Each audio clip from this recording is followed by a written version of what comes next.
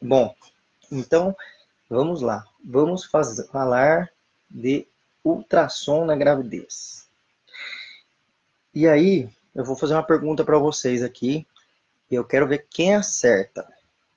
Então, a Gisele está falando, fixa o tema, doutor. Putz, eu não sei fixar o tema. Aqui no Facebook eu descobri é, como é que fixa o tema, mas no Instagram eu não descobri. Se vocês me falarem aí, estou aprendendo aos poucos, né? Cada vez um pouco mais mexendo nisso. E eu não sei como é que fixa o tema. Uh, bom, vocês me contarem aí, eu vou, eu vou fixar o tema, mas eu não consigo saber ainda como é que é.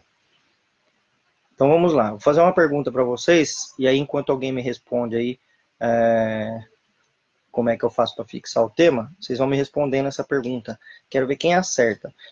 Quantos ultrassons são necessários em uma gravidez? Essa é a primeira pergunta e eu quero ver quem acerta.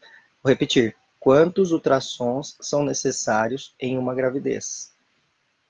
É uma pergunta bem direta. Eu estou perguntando um número e eu quero ver as respostas de vocês, e aí nós vamos falar exatamente sobre isso. Enquanto isso, enquanto vocês vão me respondendo aí, eu quero ver aí se eu descubro como é que faz para colocar o negócio aqui no Instagram. Eu não sei como é que fixa isso. Ó, estão respondendo aí. 3, 2, 4, 2, 4, 4. Ó, a Débora Fernanda, ela deu uma resposta ousada. Ela disse nenhum ultrassom. Daqui a pouco eu vou dizer por que, que é ousada essa resposta. Ó, 4, 2, 3, 3, 4, 4. Deixa eu ver aqui no Facebook o que estão falando. 3, 3, 1, 3, 3, 3, 2. 2. Bom, então acho que ah, peraí, a Gisele me deu uma dica aqui de como eu fazer o negócio aqui. Escreve um comentário. Ixi, mas como é que eu escrevo agora? Hum. Peraí, vou descobrir. Turma do Face, aguenta só um pouquinho aí, que eu vou ver como é que eu faço aqui. Ultrassom na gravidez. Esse é o tema publicar. Ah, mas eu publiquei e apareceu lá, ele sumiu lá. Não? Ele vai subindo junto com todo mundo. Mas não sei como faz. Depois eu vou ter que. Vai, como se fosse um comentário, mas. Ultrassom. Vamos ver. É, não tem, gente. Porque o negócio aqui, ultrassom, e daí aparece publicar e só. Não tem. ultrassom. De novo, clique em cima. Não tem esse negócio de fixar. Para mim não tem.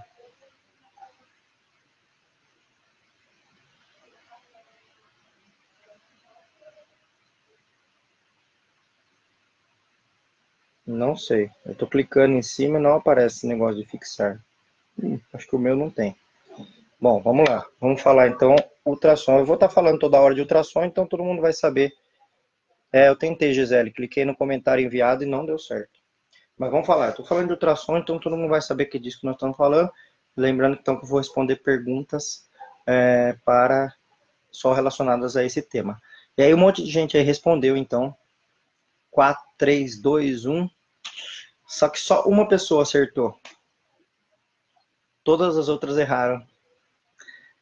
E essa pessoa que acertou, eu lembro que foi a Débora que falou que eu falei que era uma resposta ousada, que ela respondeu que não precisa de nenhum ultrassom na gravidez. É isso mesmo. Não precisa de nenhum ultrassom na gravidez. Como assim, Braulio? Não precisa de ultrassom na gravidez? Então, calma aí, calma. Vamos por partes para uh, vocês entenderem o que, que é essa questão e por que, que a OMS, a Organização Mundial de Saúde, ela recomenda que não se faça nenhum ultrassom na gravidez.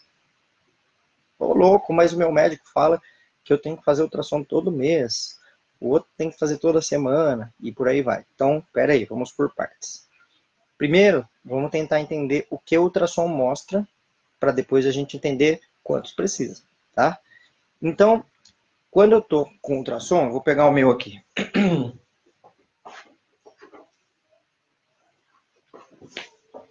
Então, tem vários tipos de ultrassom, né? Tem aparelhos grandes, aparelhos pequenos. Eu tenho um ultrassom de consultório, que é um ultrassomzinho pequeno, que é esse aqui. Esse aqui, na verdade, é um tablet, né? Um tablet comum. E aí, o aparelho de ultrassom é esse aqui. Então, a gente passa o gel aqui e aí passa na barriga e vê tal uh, o bebê. Então, isso aqui é uma imagem gravada, né? Que eu fiz agora há pouco. Então, a gente vai lá ver o bebê, dá para medir o bebê, dá para ver a quantidade de líquido e tudo mais. Então, vamos falar o que, que o ultrassom faz para daí a gente entender para que, que ele serve e quando ele tem que ser pedido ou se ele nunca tem que ser pedido. Então, ultrassom. Que acontece? Uh, com ultrassom, eu consigo ver algo que eu não consigo ver com os meus olhos dentro da barriga. Tá? Então, com ultrassom, eu consigo ver formas do bebê. Então, o meu bebezinho, que vocês já conhecem, que está lá dentro da barriga da mãe, se ele está encoberto pela, pelo tecido da barriga da mãe, eu não consigo ver esse bebê lá dentro. Na hora que eu passo o ultrassom, e ele aparece na tela, né? Como é que funciona o ultrassom? Ah, Brau, emite ondas é, de raio-x? Não, não é raio-x. Raio-x é outro aparelho. ultrassom é ultrassom. ultrassom, ele... Desculpem. O ultrassom, ele manda ondas sonoras e aí o reflexo dessas ondas, ou o eco dessas ondas, por isso que tem lugares que chamam de ecografia. Isso aí é regional, depende do lugar, chama de ecografia, depende, chama de ultrassom, é a mesma coisa. Então, o ultrassom ele reflete de volta essas ondas sonoras e o aparelho capta e manda para um computador, para o computador fazer uma imagem. Então, a hora que você manda a onda sonora num lugar que é molinho, aí ele manda lá um tipo de onda de volta, o computador interpreta como algo molinho. Se na hora que bate no osso, manda como algo duro. Na hora que bate no líquido, manda como líquido. E aí o computador forma a imagem, né? Então, quando a gente está olhando através do ultrassom o bebê, eu não estou olhando o bebê, não é uma câmera de vídeo, né? É um reflexo do som que foi emitido por esse aparelho lá dentro. Beleza. Então, o que, que eu consigo ver no ultrassom? Eu consigo ver formas do bebê. Então, eu consigo ver, por exemplo, contorno do bebê, nariz, boca. Consigo ver formação de braços, formação de pernas, formação da barriguinha.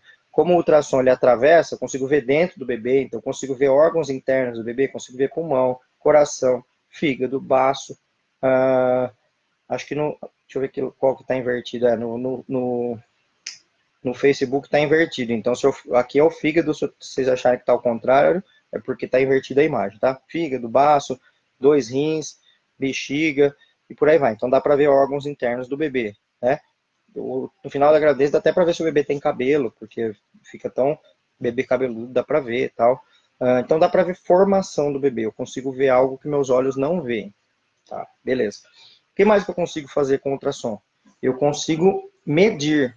Então eu consigo medir a cabeça do bebê, consigo medir a barriga do bebê, consigo medir o fêmur do bebê, consigo medir o pé do bebê se eu quiser, consigo medir o braço do bebê e por aí vai. Consigo medir. Tá?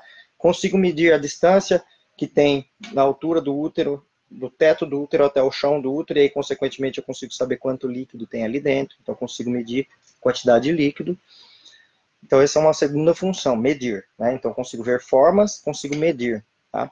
E uma terceira coisa que eu consigo ver é se eu ligar um aparelhinho que chama Doppler, que é um, um método que tem ali, o Doppler ele manda um som lá dentro e aí ele pega de volta o som de coisas que estão em movimento, então coisas que têm fluxo. E o que tem fluxo lá dentro é sangue. Então aí ele capta o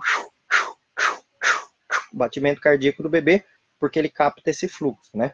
E aí eu posso tanto só ouvir o Doppler, ou seja, escutar que está batendo, eu posso medir a distância entre os batimentos e, consequentemente, com essa distância eu consigo saber é, qual a frequência cardíaca do bebê, eu consigo medir o fluxo que está passando de sangue ali, e aí, então, eu consigo imaginar qual a pressão que está tendo ali dentro desse vaso. Uh, então, se eu medir, por exemplo, o Doppler das artérias uterinas da mãe, que são as artérias que entram no útero, eu consigo saber qual pressão que está acontecendo ali. Se eu medir o Doppler da artéria umbilical do bebê, que é do cordão umbilical, eu consigo saber qual é a pressão que está tendo no cordão umbilical, consequentemente a pressão da mãe, no, desculpa, do bebê.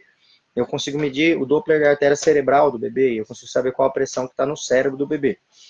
Bom, então o ultrassom ele é um aparelho que ele mede essas coisas que eu falei. Ele, ele verifica essas coisas que eu falei. Então, ele verifica é, formas do bebê, ele verifica crescimento do bebê e ele verifica fluxos lá dentro. E aí eu consigo saber batimento, fluxo cardíaco, fluxo do cordão umbilical e por aí vai.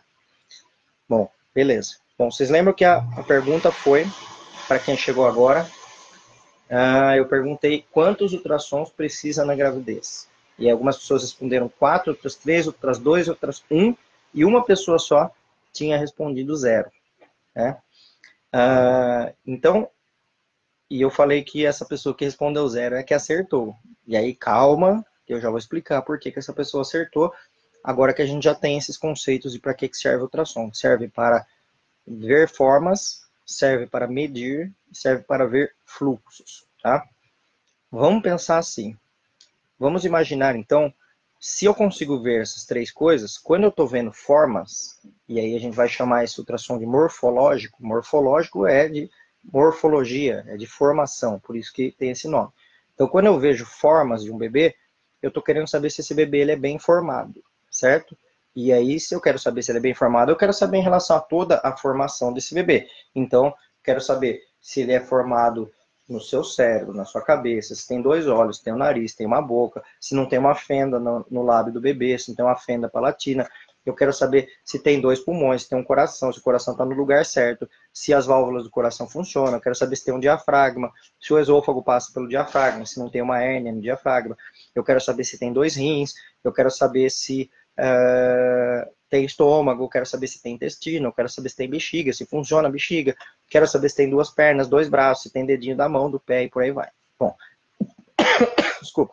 Então, quando eu estou vendo formas, eu quero ver se o bebê está formado, ou seja, eu quero excluir uma malformação. Tá? Beleza.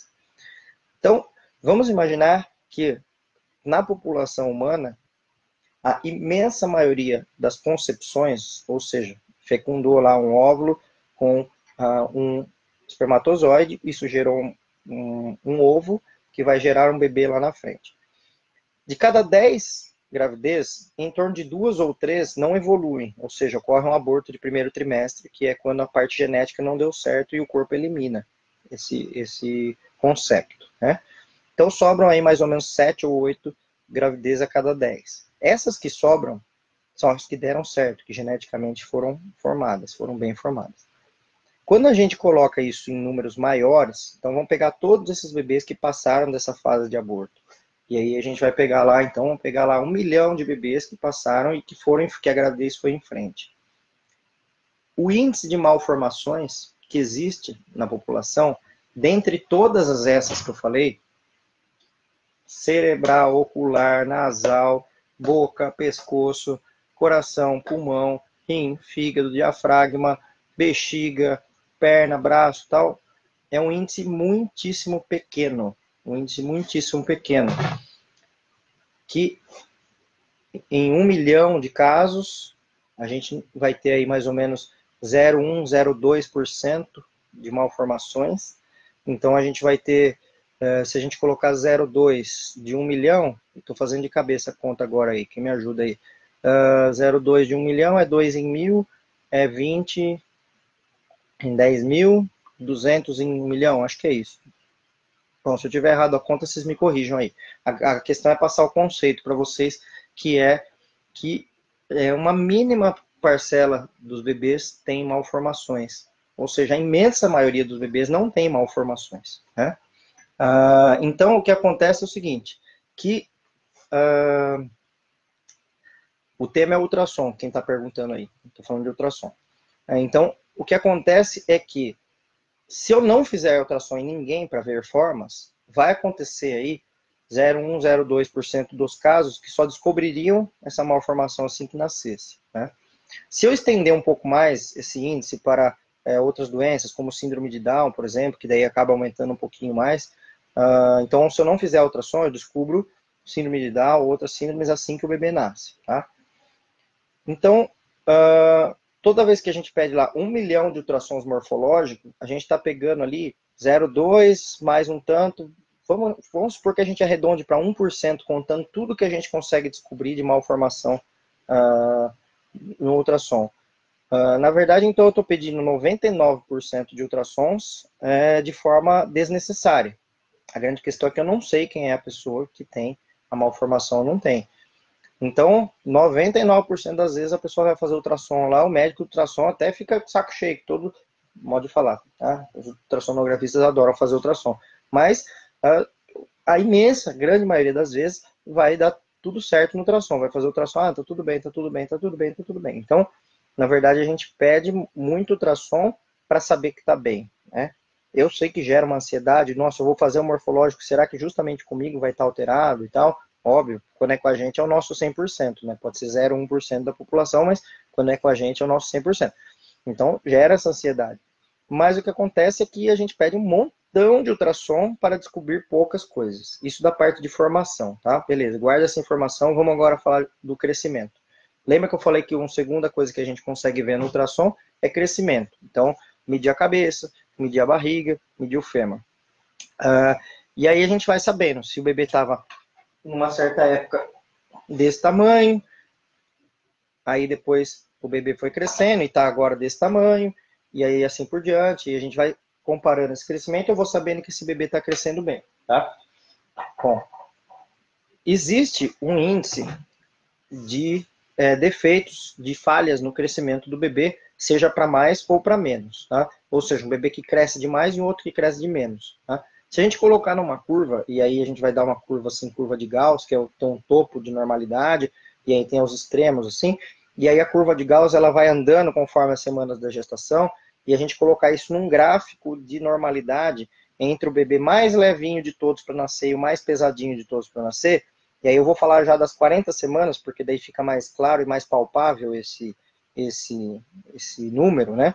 Então, vamos pensar que o bebê mais, novo, mais levinho de todos, aí eu vou pegar aqui uma apostila de peso, tá? Então, são tabelas que a gente tem aqui, então, tabelas de peso, tá? Aí vamos ver aqui, ó. O bebê mais levinho para nascer com 40 semanas, ele, é um, ele tem um peso estimado em torno de 2,630. Dá para ver aqui? Acho que ali no, no, no Instagram tá invertido, né? Aqui no Face que tá certo. E o mais pesadinho de todos, com 40 semanas, vai ser 3,815. Isso aqui é uma tabela brasileira, tá? É diferente da tabela Radlock, que é a tabela que a gente usa na maioria dos ultrassons que a gente faz. Então, a brasileira ela é um pouco diferente.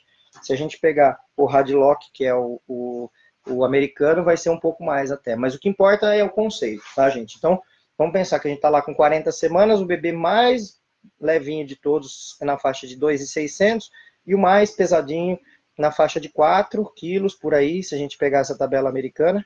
Então a gente vai ter lá que todos os bebês que nascem entre 2,600 e 4 quilos estão normais, tá? A gente sabe que para a mãe e para o pai, obviamente, a mãe e o pai querem saber que se o bebê pesou 3,215,3. A gente sabe disso e beleza, vamos anotar isso aí, vamos guardar para sempre, vou lembrar para o resto da minha vida o qual foi o peso que o filho nasceu. Mas, tecnicamente, para a gente, o que importa é um bebê que não nasce nem abaixo disso, nem acima disso naquela idade gestacional, porque a gente tem que investigar o que, que pode estar tá causando aquilo. Logicamente, pode ter causas de bebês que nascem com menos que isso, mas isso era genético normal daquele bebê? Pode. Assim como acima disso também é genético daquele bebê e tá tudo bem. Mas a gente, no meio da gravidez, quando começa uma curva e disparando ou para cima ou disparando para baixo, ou caindo para baixo, caindo para baixo é feio, hein? Mas beleza, vocês entenderam. Ah, então, uma curva que vai disparando ou uma curva que vai indo para baixo aqui, eu vou pensar, será que esse bebê está restrito de crescimento? Ou será que esse bebê está ganhando muito peso? Então, eu vou pensar, bom, então eu tenho que ver se esse bebê vai cair aqui em cima ou vai cair aqui embaixo na hora de nascer, tá? Então, como eu disse, para os pais, eles querem saber se nasceu com 3,212,3 kg. Ótimo, beleza. Mas para nós, tecnicamente, o que importa é se o bebê vai cair nessa faixa aqui. Então, se tiver um bebê que está crescendo e vai cair acima de 2,600, abaixo de 4, tá tudo bem para nós, tá? Aí, então, o que, que a gente consegue fazer, o que, que a gente pode fazer para é, para a gente saber se o bebê está crescendo ou não, sem ver ultrassom. Deixa eu pegar aqui, então, uma fita métrica. Isso aqui é uma fita métrica que ela é já própria para a medida ba da barriga da gestante. Deixa eu ver se eu consigo mostrar aqui, está estourando um pouco. Mas é uma fita métrica comum, pode ser uma fita de costureira, qualquer fita. Eu preciso ter uma fita que eu vou colocar lá na barriga da mãe e eu vou medir do, da síntese pública até no fim da barriga da mãe para eu saber quanto que está medindo. O que me importa é que esse bebê, ou seja, essa altura uterina da mãe, ela caia entre um mínimo e um máximo daquela fase que ela está para imaginar que o peso do bebê está indo para aquela para aquela para aquele patamar. Então é possível eu identificar se um bebê está crescendo adequadamente apenas com a fita métrica? Sim, é possível. Por quê? Apesar de a fita métrica não ter uma super acurácia, ou seja, não ser precisa para eu saber peso, ela tem uh, uma, uma acurácia muito boa, não na precisão do peso, mas para eu saber em que patamar esse bebê está. Se ele é um bebê, aí se eu colocar a curva e eu destrinchar em cinco faixas essa curva, e eu colocar a curva de normalidade aqui e aqui, então, eu vou colocar que aqui nós temos, dentro da normalidade, três faixas de peso. Aí aqui abaixo nós temos um, os bebês PP e aqui em cima os bebês GG. Então, eu vou falar que aqui é o bebê PP, aqui é o P, aqui é o M, aqui é o G e aqui é o GG. E aí o bebê, a nota de corte aqui vai ser 2,600, a nota de corte aqui vai ser 4 quilos. E aí eu vou estar tá olhando para esse bebê dentro da barriga da mãe, sem olhar lá dentro, eu tá olhando para a barriga da mãe, medindo com a fita métrica e imaginando se está caindo dentro dessa faixa de peso. Se a medida vai dando sempre média, média, média, esse bebê está no peso médio. Então não importa se ele vai pesar 3, 3,100, 3,200, 3,400, 3,500, 3,600, não importa, porque está dentro da média, né? Então eu consigo com a fita métrica saber isso? Consigo, e ela tem a mesma acurácia do ultrassom nesse sentido, né? nessa estimativa de eu saber se o bebê está pequeno, grande ou não. Por exemplo, se eu medir a barriga de uma mulher e está muito acima do que eu esperado, eu vou pensar, puxa, então ah, esse bebê deve estar crescendo demais, ou então tem muito líquido amniótico. Então vamos olhar pelo ultrassom para daí ver se realmente está crescendo demais ou não. Ou se eu meço a barriga e dá lá muito pequena, muito menor do que eu imaginava, daí eu vou olhar pelo ultrassom para ver se está crescendo de menos do que eu esperava. Né? Então, na verdade, o ultrassom ele acaba complementando essa ideia de crescimento que eu consigo ver medindo a barriga uh, da mãe pela, com a fita métrica, simplesmente ir lá e medindo com a fita métrica. Então, apesar desse segundo item que eu falei, do ultrassom, que é eu conseguir saber o crescimento do bebê, ele é um crescimento que ele é estimado e que me importa ele estar dentro de uma faixa de normalidade, não exatamente qual é o peso do bebê. E tem uma outra questão do ultrassom também. Vocês sabem como é que o ultrassom sabe o peso do bebê? E por que, que o ultrassom não sabe a altura do bebê? Ah, é. Lá no seu ultrassom está escrito a altura do bebê mas não é real aquela altura, tá? A altura do bebê, a gente pega o fêmur do bebê e multiplica por 7 e dá a altura do bebê. Então é uma altura estimada e não importa, porque do bebê mais baixinho para o mais altinho tem muito pouca diferença quando nasce. Então a gente não usa altura como um parâmetro. A gente usa peso, porque do, do menor peso para o maior peso tem uma amplitude muito grande. Então por isso que a gente usa peso. E sabe como é que a gente sabe o peso do bebê? Não tem uma balança no ultrassom.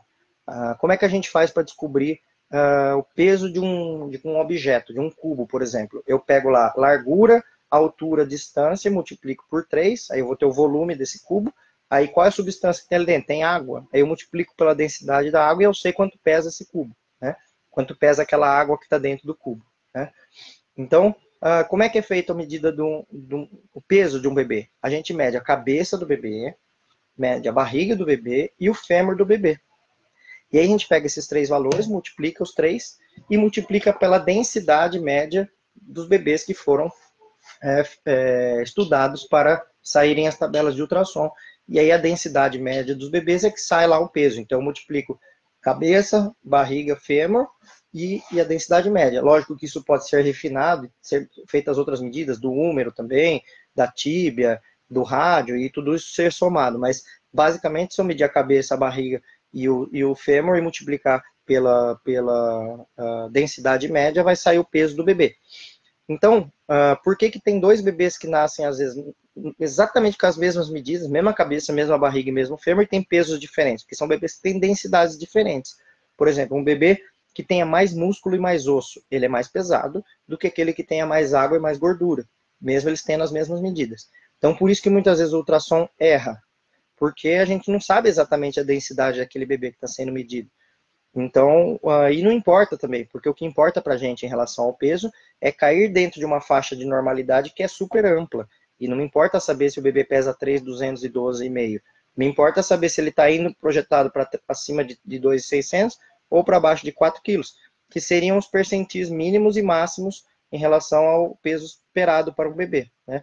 E aí, logicamente, com um bebê que vai ultrapassando aqui esse percentil vai cair lá em cima, eu quero saber se é, esse bebê está ficando gordinho demais. Daí eu vou pesquisar na mãe, será que ela tem diabetes gestacional ou não? Ou vou olhar no exame de rotina se tinha uma pesquisa de diabetes e ela pode estar tá com diabetes. No caso dos bebês que estão vindo aqui para baixo, eu vou olhar e falar, será que está havendo alguma insuficiência na placenta? Será que diminuiu o líquido amniótico também? Será que ela está ficando hipertensa, que é um reflexo da insuficiência placentária?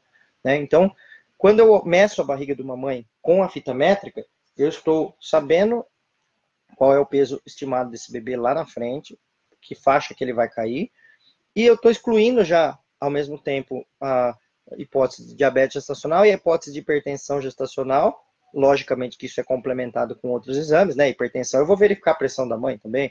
Diabetes, eu vou pedir curva glicêmica, glicemia e tal. Mas a gente já consegue ter uma ideia se os bebês estão caindo dentro desse patamar, que é o que mais importa.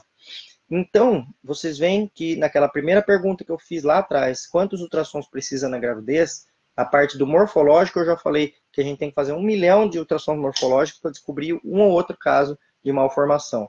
No caso de crescimento, eu consigo saber, medindo a barriga da mãe, se é, o bebê está crescendo adequadamente ou não, porque não me importa saber se é 3,212, me importa saber se ele está caindo dentro de uma faixa de normalidade. E aí, no terceiro item, que é o item é, Doppler, que eu falei que a gente mede os fluxos, o que acontece? Quais são os itens que a gente costuma medir? A gente mede as artérias uterinas da mãe, que são as que entram no útero e, é, e nutrem, né, mandam sangue para o útero. A gente pode medir a artéria umbilical do bebê e a gente pode medir a artéria cerebral do bebê. Aí, qual que é a questão para a gente? Quando que a artéria umbilical do bebê vai estar alterada? Que é a partir daí que a gente começa a se preocupar e daí depois altera a cerebral também.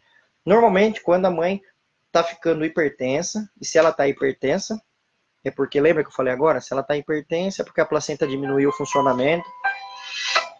Então, se ela está ficando hipertensa, é porque diminuiu o funcionamento da placenta, e aí, consequentemente, diminuindo o, fluxo placentário, a pressão da mãe aumenta para perfundir melhor a placenta.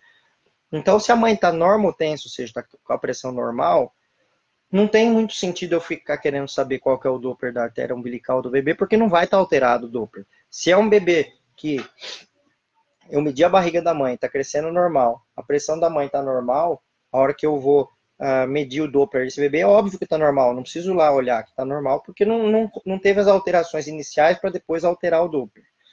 Então, respondendo aquela minha primeira pergunta, por que, que a gente não precisa de nenhum ultrassom na gravidez, em geral, para saber se está tudo bem, e eu já vou explicar melhor isso, tá? Calma.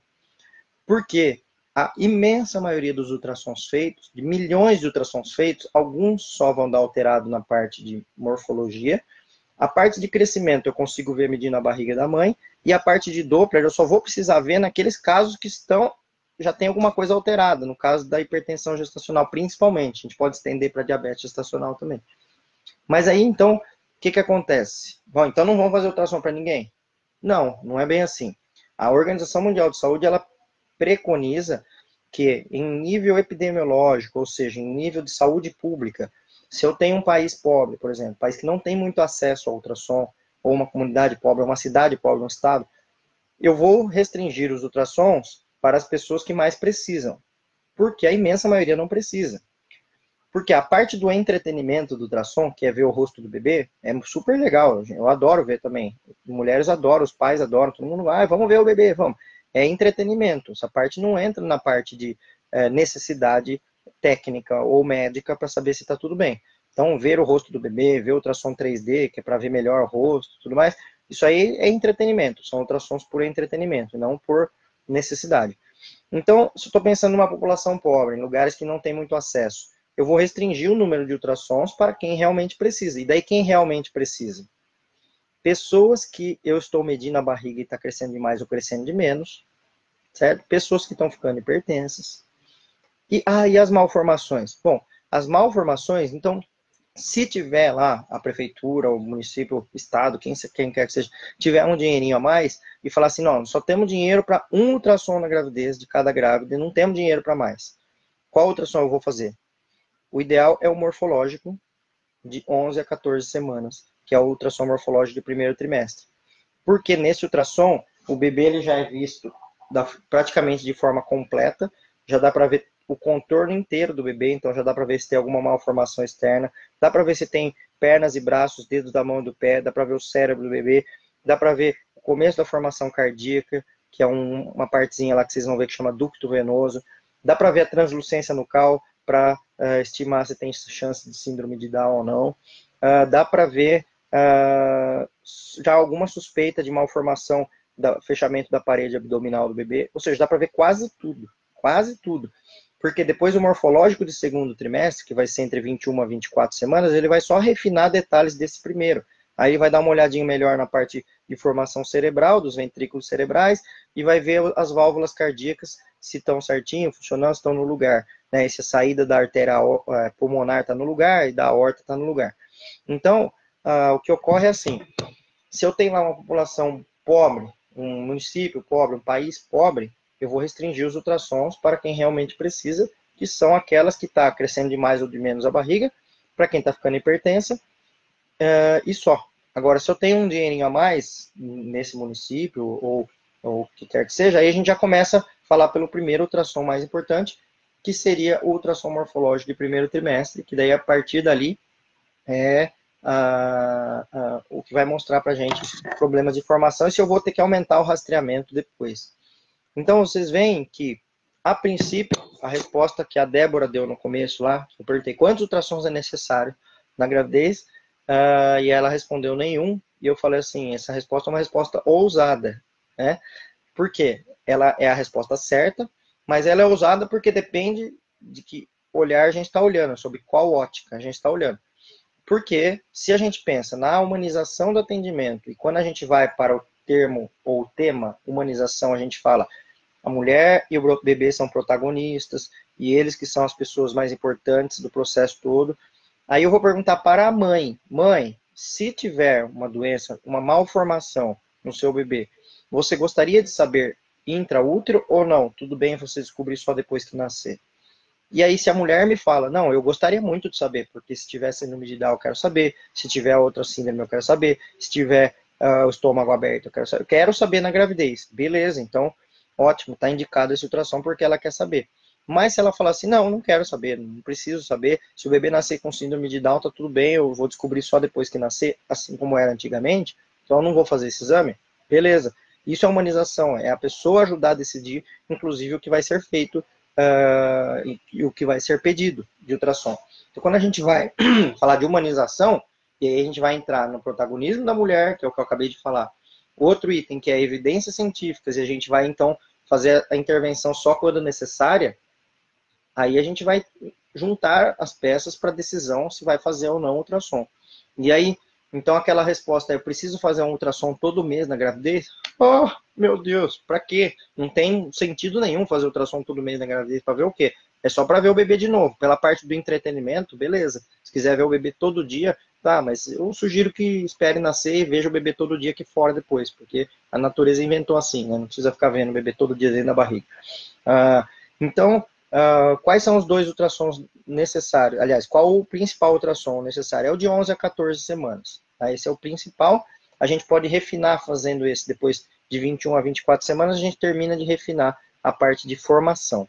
Aí tá bom, então vamos falar assim, bom, é, vamos, não, não vamos pensar em dinheiro agora. Se o município, o governo tem dinheiro, não tem, ou eu, tô, eu tenho um convênio que me paga 500 mil ultrassons se eu quiser, eu posso fazer ultrassom todo dia se eu quiser. O que, que eu preciso de ultrassom baseado nisso? Então, seria ultrassom morfológico de primeiro trimestre, que é entre 11 a 14 semanas, depois ultrassom morfológico é, de segundo trimestre, que vai entre 21 a 24 semanas, e daí a gente pode fazer um terceiro ultrassom, que é aquele de medir o bebê, que daí a gente vai chamar de ultrassom obstétrico.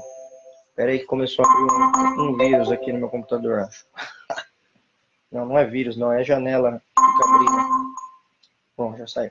Bom, então, é, retomando se eu vou fazer o morfológico primeiro, o morfológico segundo, eu falar, tá bom, vamos refinar então o crescimento do bebê, eu faço um ultrassom obstétrico, que é esse que mede o bebê, né, que vai ver tamanho da cabeça, tamanho da barriga, do, da, da, do fêmur tal, e estimar o peso do bebê, a gente pede normalmente esse no, no terceiro trimestre, que seria entre 31 a 34 semanas.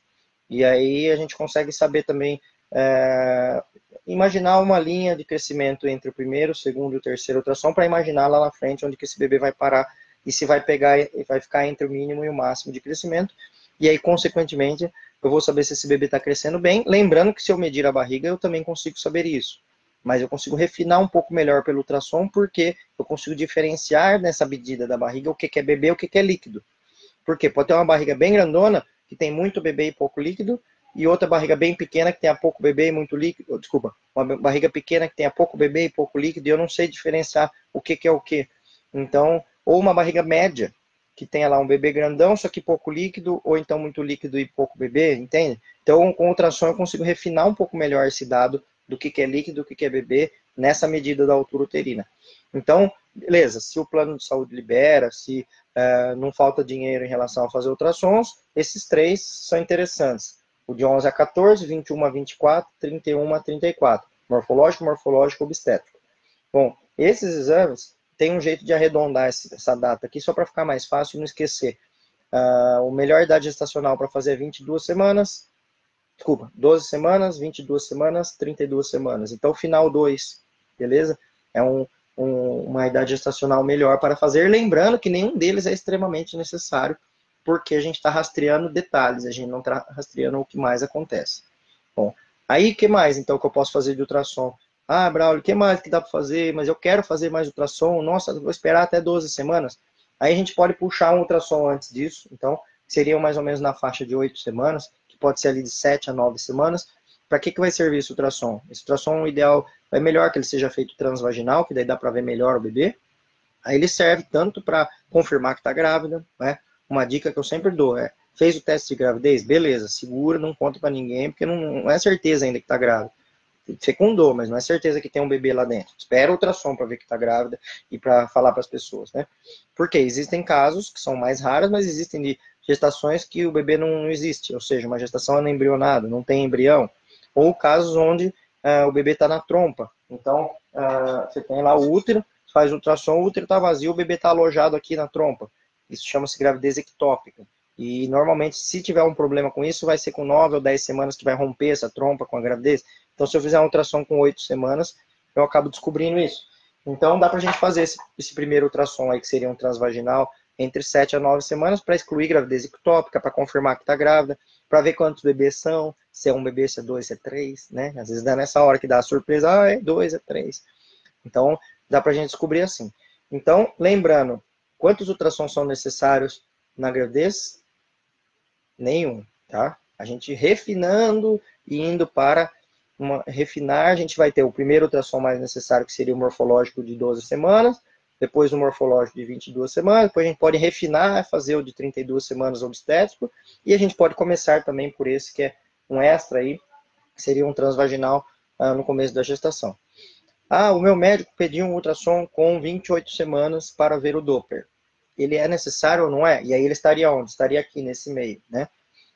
De rotina, não, definitivamente não, porque uh, se eu estou falando que nem esses todos são necessários de rotina, quanto mais um ultrassom mais específico ainda, que é o Doppler de 28 semanas.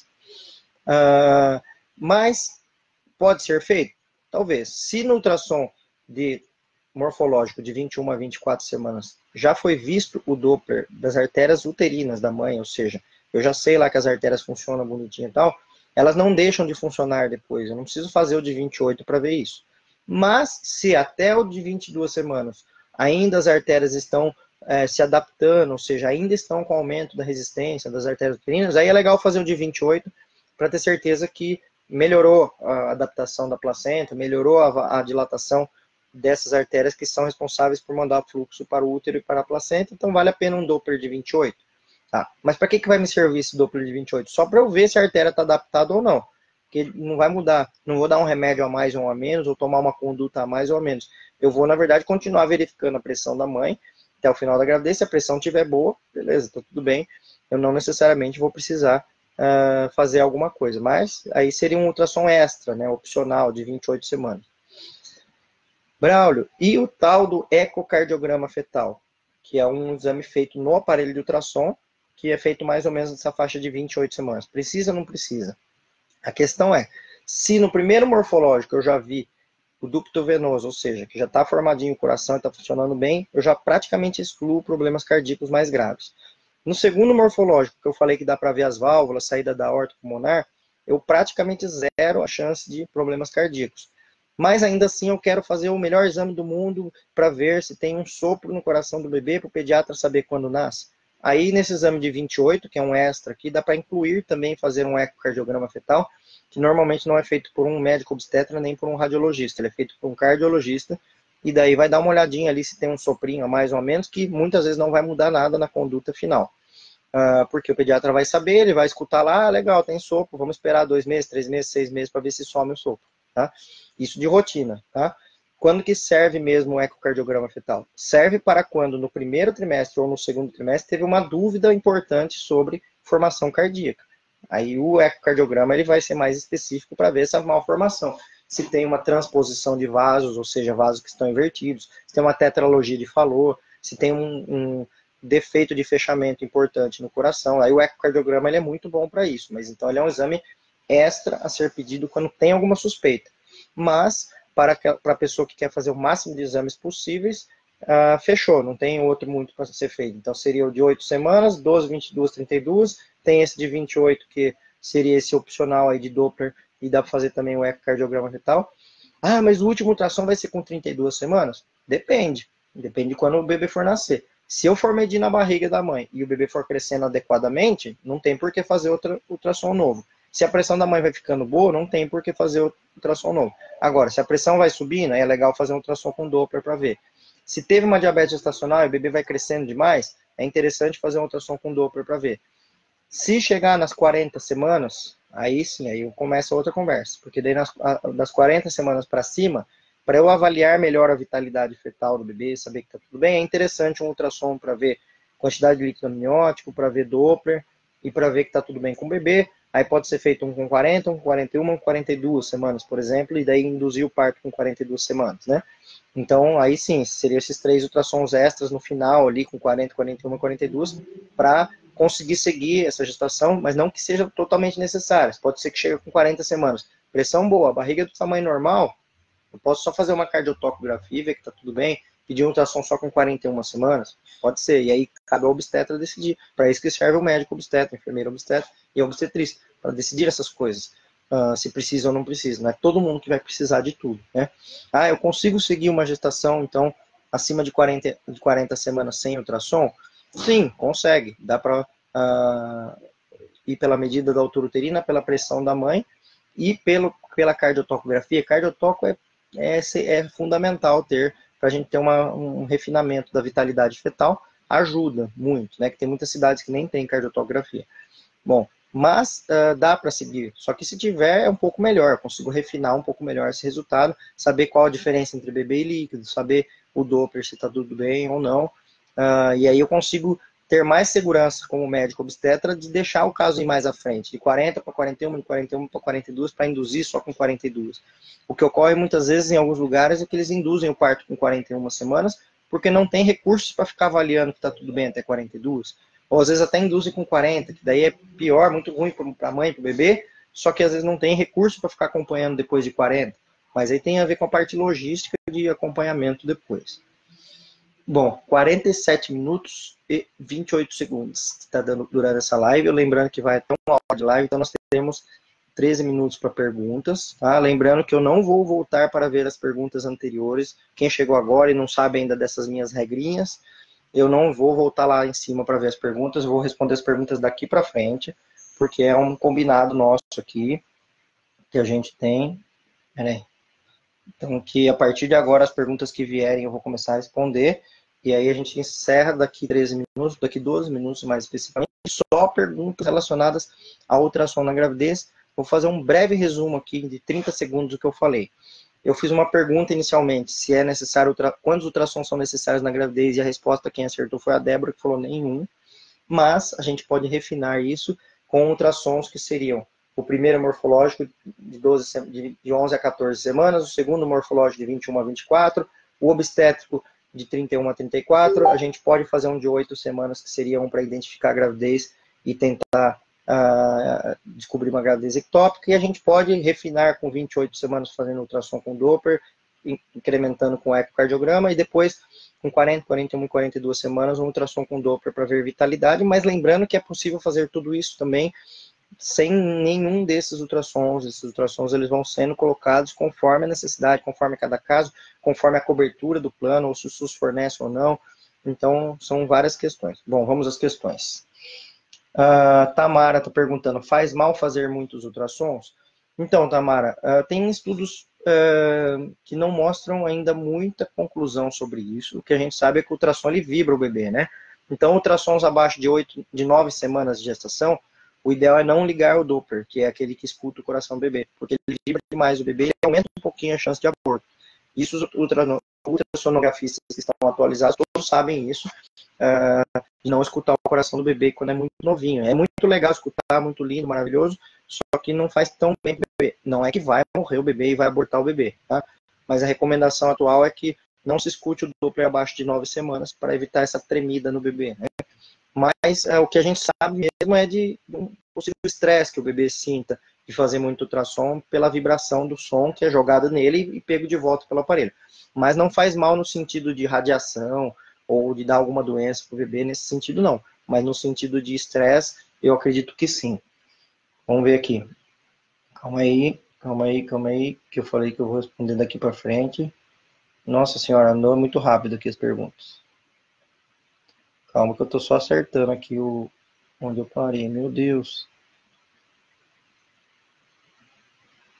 Pera aí. Já, já me confundi aqui. No, no, Instagram, que começou a rodar tudo aqui.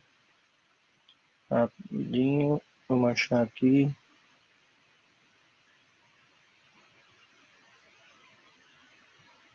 Ó, muitas perguntas perguntar, muita gente perguntando aqui se faz mal, eu, foi justamente o que eu respondo. Ah, aqui, ó, já achei. A partir da, da pergunta da Tamara, que me perguntou isso, eu vou ler dali para baixo, só que eu vou responder uma no, no Face agora.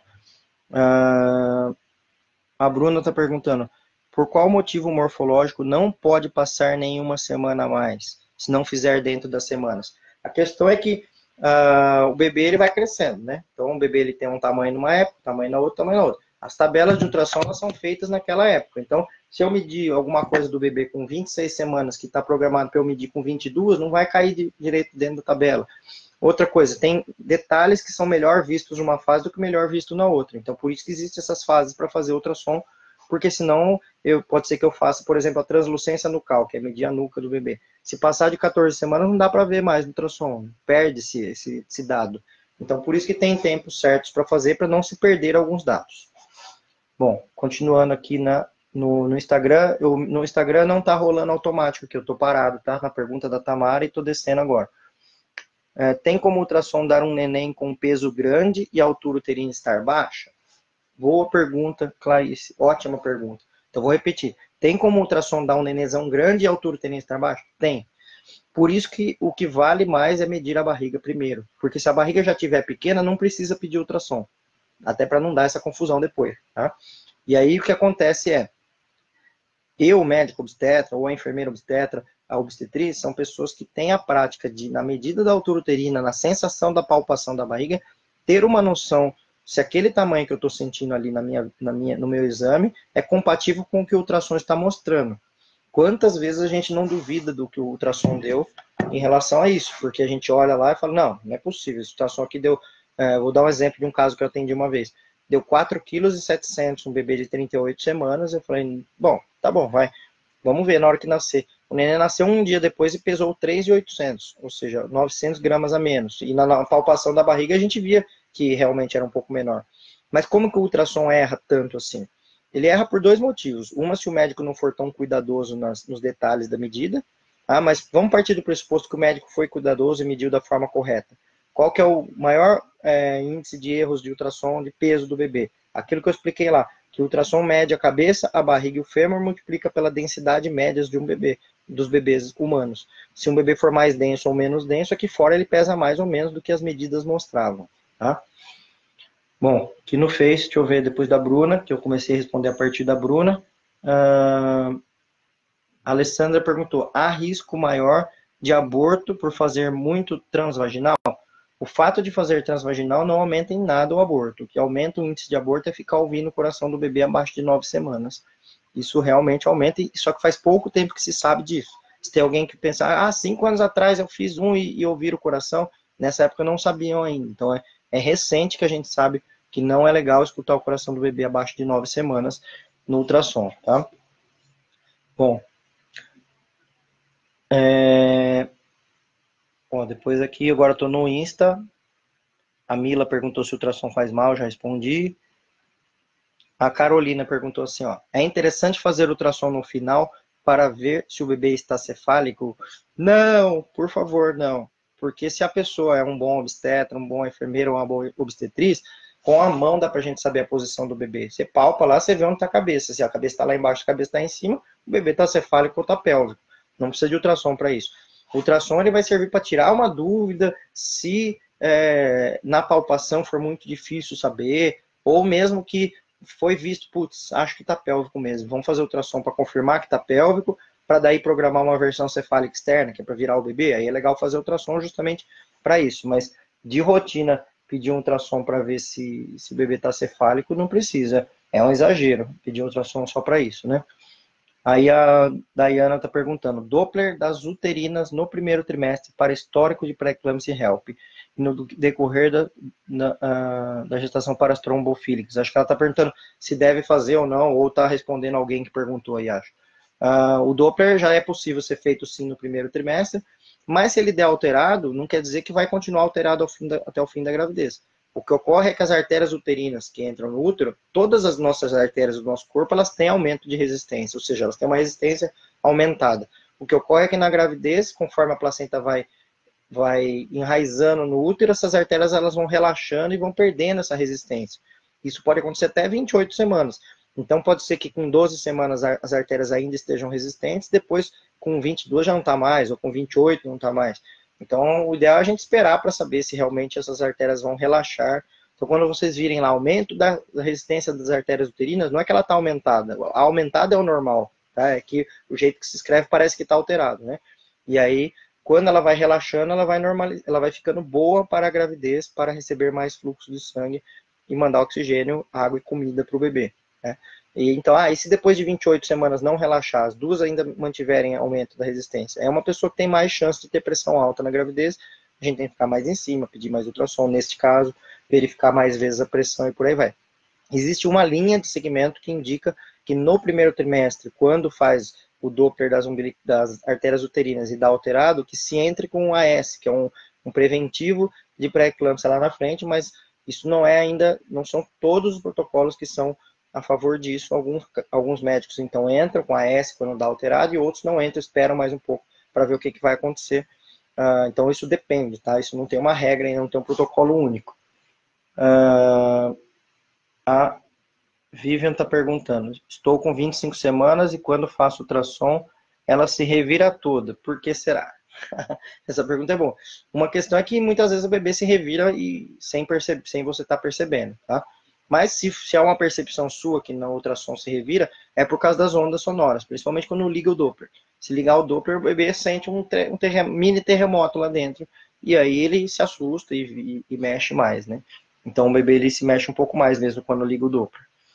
Uh, a, a, como que é? A mãe dentista está perguntando: uh, existe alguma condição do bebê ou da mãe que seja necessária a realização de mais exames de ultrassom? Acho que eu já respondi essa, né? Respondi justamente falando todas as, todos os ultrassons que são possíveis aí, caso sejam necessários.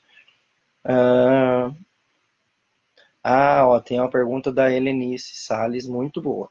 Existem alterações vistas por ultrassom que podem ser corrigidos intrauterino? A resposta é sim, existem. Uh, por exemplo, eu vou citar mais. É, não, é, não vou pôr a palavra comum, porque parece que tem muito, mas dentre as, os casos de malformação, que são é, casos, é, é, menos casos né, de malformação, é, um dos casos mais comuns é o de hérnia diafragmática, que é quando o diafragma, que divide o tórax do abdômen, ele tem um buraco lá, ele é mais aberto, né? Normalmente ele tem um buraco para passar o esôfago, mas esse buraco ele é mais aberto, e aí o conteúdo do abdômen começa a subir para o tórax do bebê e comprimir o pulmão do bebê.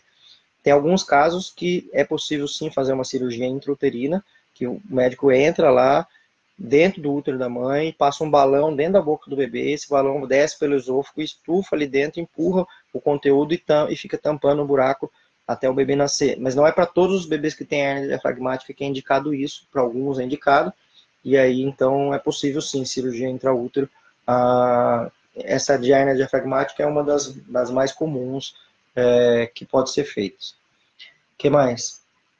Uh, a Evelyn está perguntando: se o grau da placenta não vale de nada, para que colocar no ultrassom?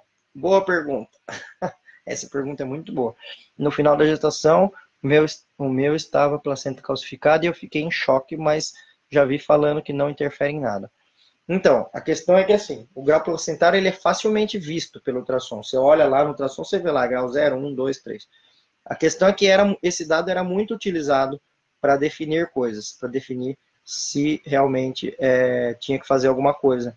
E hoje em dia a gente usa outros dados, não usa mais grau placentário, a gente usa a pressão da mãe, se o bebê está crescendo, se o líquido está bom. Ó, no Instagram tem mais 19 segundos e já vai acabar aí. Eu vou voltar, eu vou dar, vou voltar mais 10 minutos no Instagram, então no Face é contínuo. Eu vou encerrar e voltar, vocês voltem aí. E quem mandou perguntas aí, mande de novo que eu vou responder. Vai acabar 7, 6, 5. Eu vou encerrar aqui e já voltar no Instagram. 10 segundos eu já estou de volta.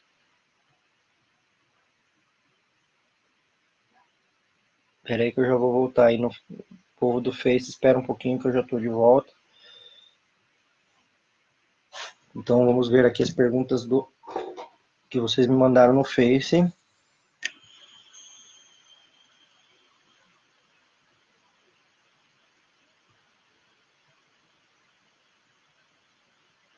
Pergunta da Natália Santos, eu vou responder já. Aguenta aí, Natália.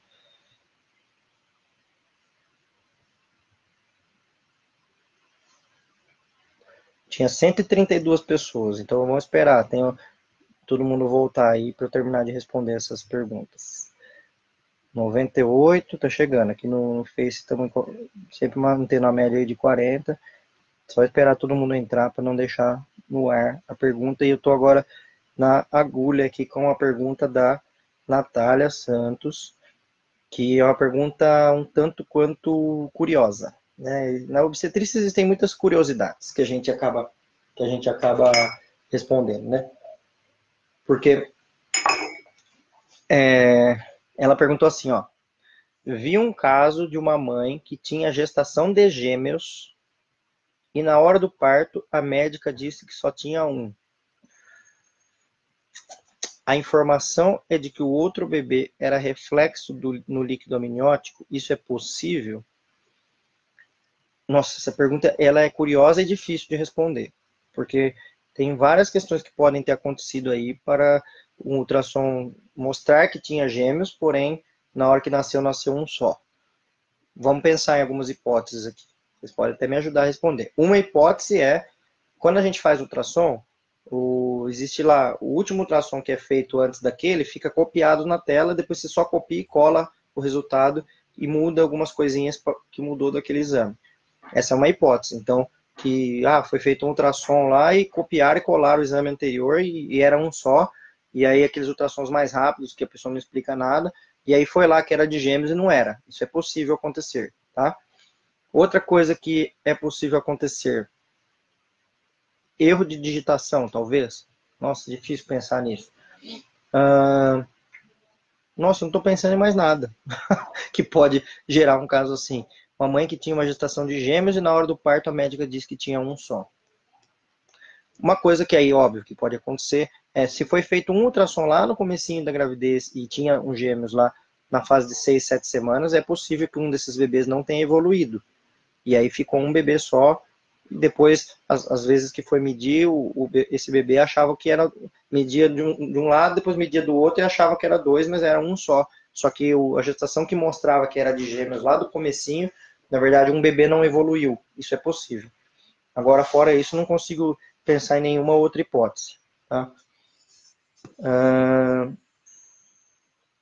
A Patrícia Aguinaldo está perguntando: na gestação de gêmeos realiza mais ultrassons do que em gestação não gemelar? Sim, mais porque, principalmente se for é, bebês que têm, se for bebês que têm ah, o mesmo saco amniótico, mesmo a bolsa amniótica, tem que fazer muito ultrassom para ver justamente o desenvolvimento deles. Se for duas bolsas, porém uma placenta, também tem que fazer mais ultrassons para ver se um bebê não está recebendo mais do que o outro em relação ao fluxo. Então, na de gêmeos aumenta, sim, com certeza. Inclusive, só dá para descobrir que é gêmeos na, no ultrassom, né? Antigamente, quando não tinha ultrassom, uma mulher que tinha uma barriga muito grande, eles pensavam, ah, acho que é de gêmeos. Depois que nascia, que via que era de gêmeos mesmo, né? Bom, deixa eu ver aqui. Ó, a partir do momento que eu liguei de novo o, o Instagram, daí entrou uma turma aqui, daí eu vou ver aqui, ó, a Tassi, é, Tassi, que é? Tá, Tassi, oh meu Deus, é difícil ler os nomes quando é tudo emendado. Não é que eu tô, não é que eu tô velho e cego, não, que eu não tô. É que é difícil. Bom, a Tassi, tá falando, ultrassom deu percentil 19 com 21 semanas. Preocupante? O que fazer para o bebê crescer? Não, não tem nada de preocupante. O percentil 19 é normal.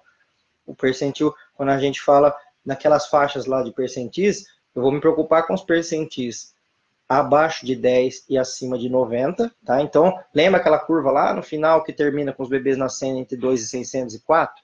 Então, eu vou me preocupar com as curvas que estejam indo para cima disso ou para baixo disso. Percentil 19 tá aqui, ó. Então não tem que preocupar nada com o percentil 19, ele é normal. Ah, e daí se você fizer depois o, o, próximo com 28, com 32 e continuar mais ou menos ali, percentil 10, 12, 15, 19, 21, 25, que é tudo mais ou menos na faixa, você sabe que está tudo bem com o bebê, não preocupa em nada. Agora, uma coisa é um bebê que era percentil 80, que caiu para 19, que caiu para 3. Aí sim, aí, aí é um bebê que está mostrando uma, uma desaceleração no seu crescimento. Aí sim pode ser que preocupe, tá? Mas um percentil isolado, assim, 19, é um bebê totalmente normal, até porque esse percentil abaixo do 10 que eu falei e acima do 90, eles não são considerados alterados, tá? Os alterados, a gente vai puxar um pouquinho ainda uma margem aqui, os abaixo do percentil 3 e acima do percentil 97 é que são os alterados, e os que estiverem entre o 90 e 97 e entre o 10 e o 3 são casos suspeitos de restrição ou suspeitos que cresceram demais, mas que não necessariamente estão num patamar alterado, eles estão na transição ali entre o normal e o alterado, tá? Então, o percentil 19 está folgado. Que mais? Ó, eu vou respondendo só perguntas de ultrassom mesmo, então algumas eu não vou responder aqui, perguntas sobre parto, sobre eclâmpsia, sobre é, tamanho do bebê no parto, esses daí são outros é, temas, vamos falar de ultrassom. a Tati Rodrigues está perguntando, existe indicação de Doppler para trombofílicas? Sim, existe, porque se realmente é uma trombofilia confirmada, né, tem muita gente que é taxado de trombofílica e não é, é Importante a gente saber isso. A gente vê muitos casos de mulheres que tomam Clexane e nem precisavam tomar, porque foi uma, acha que era uma trombofilia, o médico entrou com uma indicação. Uma das lives minhas vai ser só sobre trombofilia, mas não é hoje. Uh, a questão é que se realmente é uma trombofilia confirmada, que a mulher tem mesmo, o Doppler ajuda a refinar essa questão de função placentária, que é justamente o problema que a trombofilia dá, pode dar, né, diminuição de função placentária. Deixa eu ver aqui a Gabriela Maria está perguntando: fala sobre ultrassom biofísico fetal. Na verdade, o nome é perfil biofísico fetal.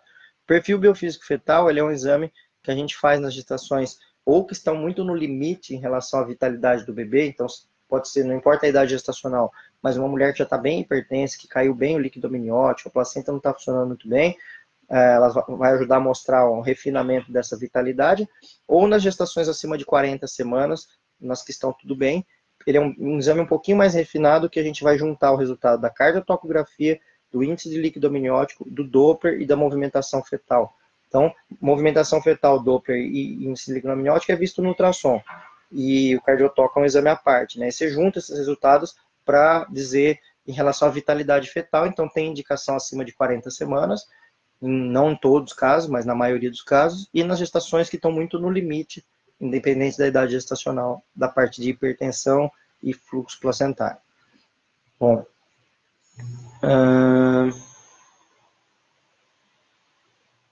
eu não, desculpa, não vou responder perguntas sobre parto indução de parto agora, porque a minha proposta é realmente é, responder agora sobre ultrassom.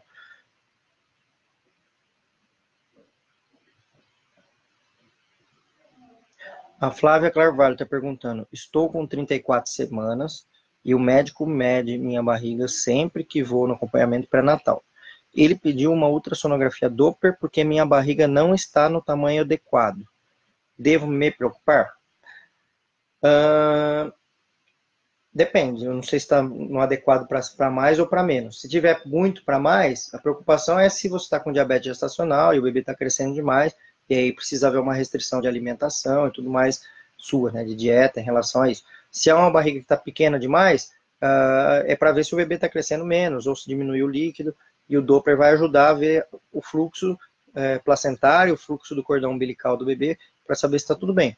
Uh, a pergunta é: devo me preocupar? Depende, é muito relativa essa pergunta, né? Porque uh, eu vou juntar essa pergunta com uma outra que já me fizeram. Ah, nas gravidezes sem riscos, X, Y, Z, não, não existe gravidez sem risco, não existe vida sem risco, né? A vida, eu tô aqui, pode cair um helicóptero agora aqui na minha cabeça, um avião, não existe é, nada sem risco. Existem riscos menores e riscos maiores. Por isso que a gente chama a gravidez de risco habitual e de alto risco.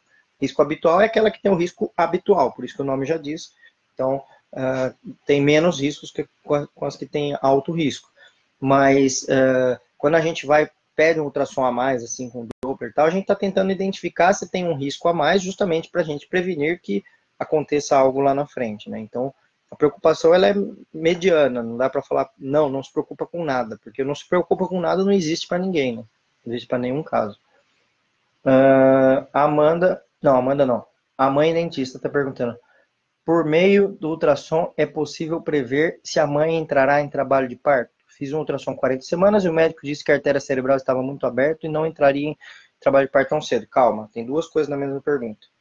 Então, a primeira pergunta é: por meio do ultrassom, é possível prever se a mãe entrará em trabalho de parto? E aí? Quem me ajuda? A resposta é: ultrassom não é bola de cristal. Não dá para prever quando vai entrar em trabalho de parto.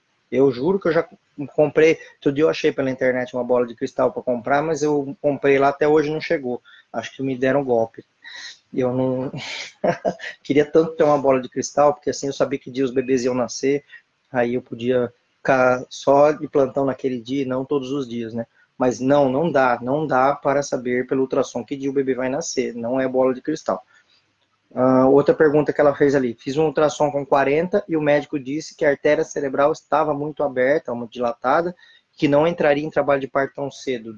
Ah, agora eu entendi por que está na mesma pergunta. Porque não, não tem relação de estar muito dilatada e, portanto, não vai entrar em trabalho de parto. Não tem nada a ver a artéria cerebral do bebê com entrar em trabalho. O que tem a ver, assim, em trabalho de parto, se eu fizer um Doppler, pode dar alteração da artéria cerebral, daí, consequentemente, alguém vai pensar, nossa, tá alterado. Não, não é alteração, é uma alteração normal que dá durante o trabalho de parto. Mas fora de trabalho de parto, eu não tenho mesmo como prever isso. Tô quase terminando aqui, que eu prometi que era uma hora, eu sempre passo, né, gente? Desculpa quem tá me me ouvindo até agora e, e, eu passei um pouco do tempo, é que eu não consigo ver essas perguntas e não responder, né? Uh, ultrassom para ver o sexo do bebê, com quantas semanas? O ideal é entre 16 a 18 semanas. Estou com 39 semanas, vou fazer um ultrassom amanhã por precaução. O que poderia me preocupar? A Josiele está perguntando. Então, a princípio, o ideal é, é, assim: se você já tem um bebê que está crescendo adequadamente, sua pressão está boa e o líquido amniótico está bom, está tudo bem. Né? O ultrassom ele vai dar uma definida em relação ao valor do líquido amniótico. Se tiver caído muito o líquido amniótico, é sinal que o bebê já está recebendo menos água, e aí se recebe menos água, que daqui a pouco vai receber menos oxigênio. Então, costuma ser necessário induzir o parto, por exemplo, com 40 semanas, quando diminui o líquido amniótico. Né? Então seria só mais a preocupação com o valor do líquido amniótico. Aí, se tiver o líquido amniótico alterado, que importa o valor do Doppler, né? Porque se o líquido estiver normal, o Doppler vai estar normal também. Né? Dificilmente vai estar alterado com o líquido normal. Ó, eu vou já quase encerrar, só vou ver mais algumas perguntas, então se alguém não mandou, não manda mais, por favor, porque senão não vou conseguir responder todo mundo. Uh, é, a Flávia disse aqui de novo que a barriga dela não está crescendo de acordo com o tamanho esperado para a gestação. O ultrassom vai ajudar a tirar essa dúvida. O que ocorre às vezes é que um bebê muito encaixado lá embaixo, a gente mede a barriga e parece que é menor. Daí você faz ultrassom e vê que o bebê está no tamanho médio. Então veja se pode ser isso também. Mas se realmente tiver uma restrição de crescimento, tem condutas a serem feitas em relação a isso. Ó, a Agatha perguntou assim, reformulando, bebê com percentil 90 nos ultrassons, porém altura uterina 36. Devo, devo confiar nesse ultra? A altura uterina de 36 é de um bebê de percentil 90. Então tá batendo aí.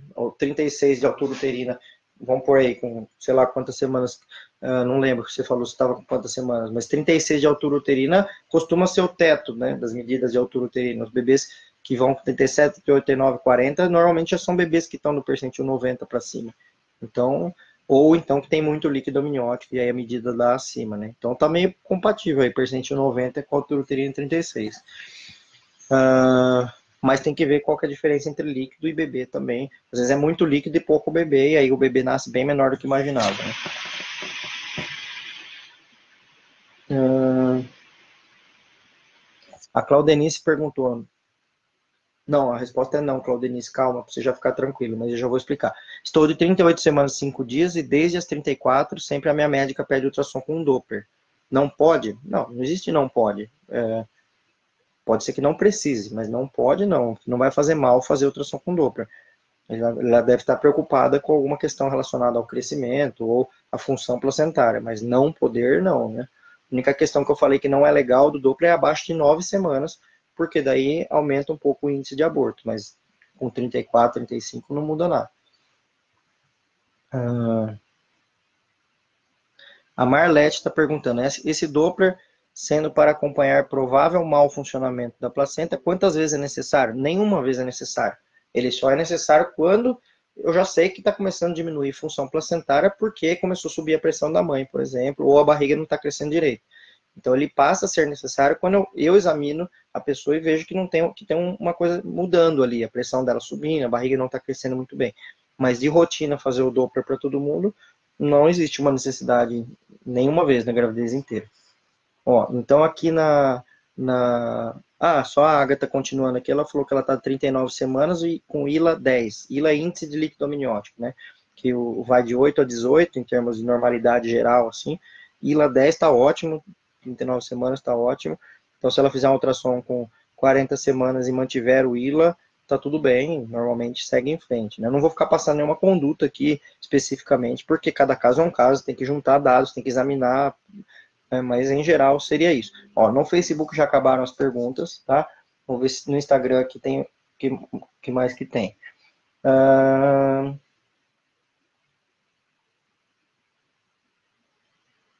Bom, eu vou, eu vou pular aqui as perguntas que não são de ultrassom. Ó, agora a Camila perguntando, a Ultra na, 12, na semana 12 indicou placenta cobrindo, putz, essa pergunta é ótima, Camila. Muito boa. O ultrassom de 12 semanas indicou a placenta cobrindo o orifício interno do colo uterino. Na 16, a Ultra indicou que estava próximo ao orifício uterino. Nessa sequência.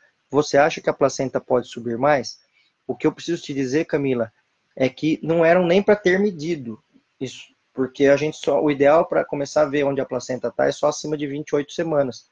Porque a imensa maioria das pessoas que a gente fizer ultrassom com 12 semanas e for querer olhar onde está a placenta, a placenta vai estar tá, como a placenta. Esse aqui é placenta, esse aqui é bebê, esse aqui é útero. Então, a placenta muitas vezes ela ocupa grande parte do útero no começo da gestação. Só que se ela está implantada aqui em cima, por exemplo, no topo do útero, e aí conforme depois, eu não consigo mostrar sem tirar o dedo da frente, mas conforme a gravidez vai crescendo, ela vai, o útero vai puxando a placenta para cima e vai saindo de frente do orifício do colo.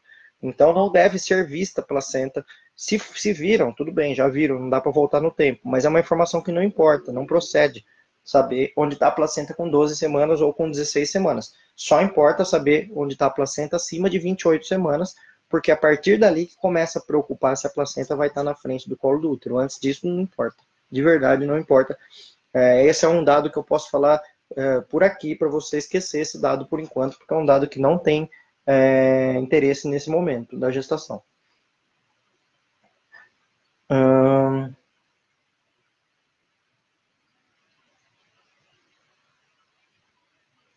Essa pergunta é, é confusa, Tati Dias. Ó, faço o pré-natal no PSF da minha cidade com a enfermeira obstetra, que pediu para fazer um ultrassom com 36 semanas, eu estou com 34. Ela disse que com 36 a criança já pode estar na posição de nascer. Sim, é o que ela disse está correto. Com 36 pode estar na posição de nascer, assim como com 34, com 32, com 30, com 29, com 28, com 27, com 26. Tem bebês que estão na posição de nascer desde sempre. Tem bebês que já estão cefálicos, né? Posição de nascer é esta posição aqui. Aqui está a pelve da mãe, posição de nascer é cabeça para baixo, cefálico. Tem bebês que são formados cefálicos, eles já estão cefálicos desde sempre. Tem alguns bebês que são formados pélvicos e que depois eles vão virando conforme vai passando a gestação. Uh, não precisa de um ultrassom para saber posição do bebê, dá para saber palpando a barriga da mãe, uh, mas tudo bem. Com 36, se tiver na posição, ótimo. Esse é o mais normal de todos, o mais comum mesmo. Mas isso não determina que dia vai nascer o bebê. Tá? Pode ser que o bebê nasça com 42 semanas e o ultrassom com 36 mostra que o bebê está na posição. Lembrando, o ultrassom não é uma bola de cristal. Ele é um aparelho que mede o bebê e vê a formação do bebê e os fluxos do bebê.